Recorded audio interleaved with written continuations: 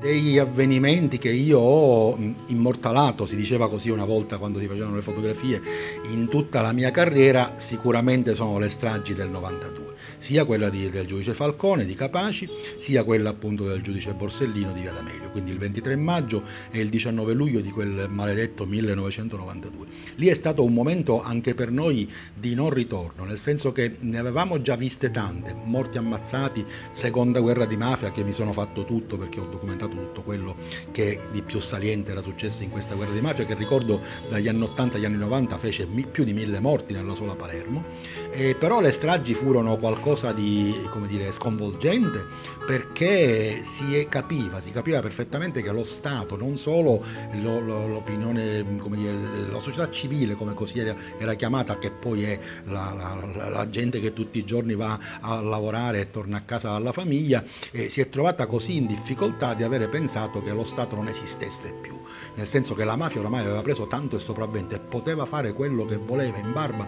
a tutte le leggi, ma anche di, di, del vivere civile, non solo del vivere legale, che praticamente sono rimasto anch'io sconvolto da questa cosa. E non tanto per Falcone, perché sì, l'autostrada è stato terribile, quella voragine, quei morti, quella, quella sorpresa di cui nessuno si poteva mai immaginare, un'autostrada che saltasse in aria, a parte Beirut, a parte i paesi appunto in guerra, non, nessuno aveva mai visto un attentato simile. Ma la cosa peggiore fu Borsellino, primo perché fu a una distanza così breve, passarono solo 57 giorni, che anche se tutti ci aspettavamo che il, dire, il mirino oramai fosse stato spostato addosso al giudice Borsellino, nessuno immaginava che dopo meno di due mesi anche Borsellino morisse dilaniato appunto da una autobomba in questo caso. E lì in Via D'Amelio fu ancora peggio perché lì era veramente, lì era Beirut come nell'82, cioè lì era guerra, cioè eh, non c'erano più infissi in tutti questi sei stabili, grandi, alti otto piani, dieci piani,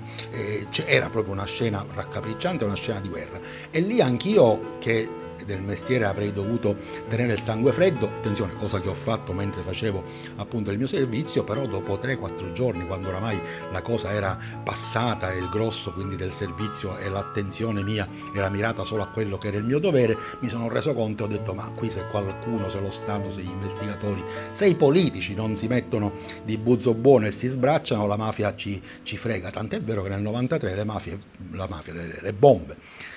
Totorrina le esportò a Firenze ai Georgofili, a, a, a, Roma appunto al Verano e a Milano in via Palestro. E solo a quel punto lo Stato ha capito che forse era meglio darsi una mossa fino a quando finalmente nel, nel gennaio del 1993 viene arrestato Totorrina e da lì è l'inizio della fine per la mafia stragista che possiamo dire e affermare che al momento non esiste più e speriamo non torni più. Attenzione, parlo della mafia stragista perché la mafia in sé esiste, si è inabissata, continua a fare i propri loschi affari, ma quantomeno ci lascia, come dire, eh, come dire non, ci, non, ci, non, ci, non ci fa vivere nel sangue, nel terrore, nell'orrore.